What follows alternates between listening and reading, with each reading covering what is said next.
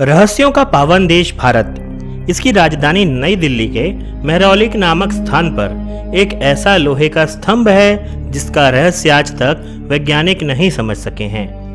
लगभग सात मीटर ऊँचे इस लौह स्तंभ में संस्कृत में कुछ लिखा है, जिसके अनुसार इसे ध्वज स्तंभ के रूप में खड़ा किया गया था। मथुरा में राजा चंद्र द्वारा निर्मित विष्णु मंदिर के सामने इसे ध्वज स्तंभ के रूप में खड़ा किया गया था। फिर इस पर गरुड़ स्थापित किया गया था और इसीलिए इसे गरुड़ स्तंभ भी कहीं कहीं कहा जाता है। बाद में, सन 1050 में, आधुनिक दिल्ली के संस्थापक महाराज अनंगपाल द्वारा इसे दिल्ली ले आया गया। लेकिन अधिकतर इतिहास के विद्वान इसके निर्माणकर्ता हिंदू सम्राट महाराजा विक्रमादित्य को मानते हैं। चंद्र नाम भी महाराजा चंद्रगुप्त विक्रमादित्य की ओर ही संकेत करता है। लगभग साढ़े चार फीट के औसतन व्यास वाले इस लौह स्तंभ का निर्माण महाराजा विक्रमादित्य ने 2000 वर्ष से भी पहले, जब शक और कुषाण जाति के विदेशी आक्रांताओं को भारत भूमि से बाहर खदेड़ दिया गया था तो उन पर हुई उस महान विजय की स्मृति के रूप में उन्होंने इस स्तंभ का निर्माण करवाया था। इसीलिए इसे विजय स्तंभ भी कहा जाता है। दोस्तों, उम्मीद है कि लॉ स्तंभ के बारे में यह जानकारी शायद आपको पहले कभी सुनने को नहीं मिली होगी, और आप आगे जो भी सुनने वाले हैं, वह शायद ज़िंदगी में पहली बार ही सुनेंगे। तो दोस्तों, आपसे उम्मीद है कि अगर आपको ये वीडियो पसंद आए तो इसको लाइक और शेयर ज़्यादा से ज़्यादा करें। कहीं ऐसा ना हो कि इस यूट्यूब की आधुनिक भूल भुलैया में हमारा चैनल भी कहीं खो जाए। लगभग अंठानवे प्रतिशत शुद्ध इस्पात से बने हुए इस लौह स्तंभ को देखकर ही यह अंदाज़ा लग जाता है कि इसको बनाने वाले कितने कुशल धातु करमा रहे होंगे। लेकिन लौह धातु के बने स्तंभ के प्रसिद्ध होने की वजह यह नहीं, बल्कि कुछ और है। हज़ारों शताब्दियों से यह लौह स्तंभ वर्षा और वायु का सामना कर रहा है, लेकिन आज तक इसमें जंग ही नहीं लगा। कई धातु विज्ञानियों ने इस पर शोध की और इसके जंग न लगने के पीछे अपने तर्क दिए, जिसमें आईआईटी कानपुर के विशेषज्ञ बाला सुब्रमण्यम और उनकी टीम का शोध आज भी सबसे प्रमुख माना जाता है। उन्होंने इस स्तंभ का निरीक्षण किया, इस पर शोध किए और अपने मत दिए।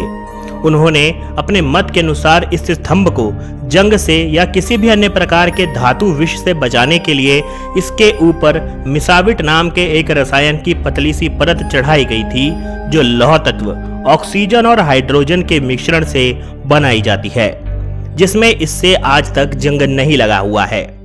इसी से मिलती जुलती प्रक्रिया आजकल नाभिकीय रिएक्टर यानी कि न्यूक्लियर रिएक्टर में रेडियो एक्टिव पदार्थों की सुरक्षा के लिए प्रयोग की जाती है।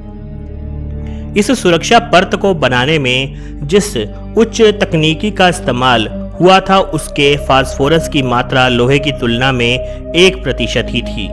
आजकल यह अनुपात आधे प्रतिशत तक भी देखने को नहीं मिलता है। लोहे के साथ फास्फोरस की अधिक मात्रा में सटीक अनुपातिक प्रयोग, प्राचीन भारत के उच्च धातु विज्ञान और टेक्नोलॉजी का एक बेहद शानदार प्रमाण दे रहा है, जिससे आज के आधुनिक वैज्ञानिक चकित हैं।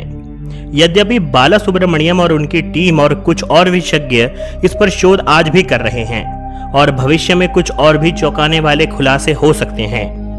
आज जो स्थान महरौली नाम से जाना जाता है, कभी मिहिरावली था। इसी भव्य मिहिरावली को महाराजा विक्रमादित्य ने अपने नवरत्नों में से एक वराही मिहिर के अंतरिक्ष और ब्रह्मांड संबंधी शोध के लिए एक वेदशाला के रूप में बनवाया था और बसाया था। इस स्थान के 27 खंड थे, जो 27 नक्षत्रों के आधार पर बनवाए गए थे।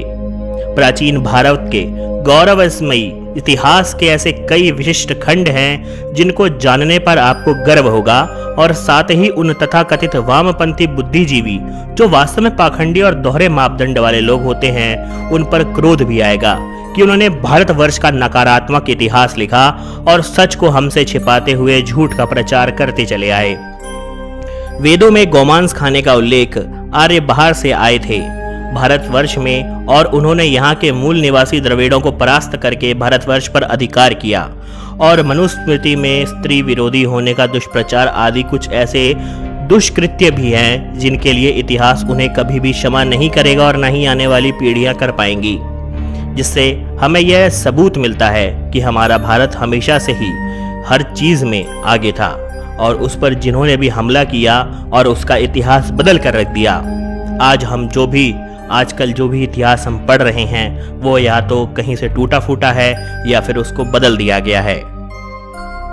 लेकिन विध्वंस की ये कालिमा से युक्त निराशा और नकारात्मकता की काल रात्रि कभी ना कभी एक दिन अस्त ज़रूर होगी, और ये सूरज उगेगा और हज़ारों रेशनियों के साथ एक दिन उदित ज़रूर होगा। और हम उम्मीद करते हैं कि भारत में ऐसे ही छुपे हुए चीज़ें और निकल कर सामने आएँगी और इंसानों को पता चलेगा कि भारत वाकई में अपने ज़माने में सबसे आगे था और शायद भारत ने ही इस पूरी दुनिया में सभी देशों को सीख दी थी। दोस्तों, आज के वीडियो में इतना ही।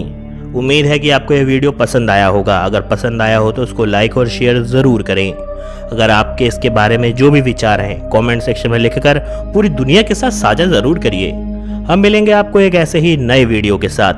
तब तक के लिए आप सभी लोगों को नमस्कार।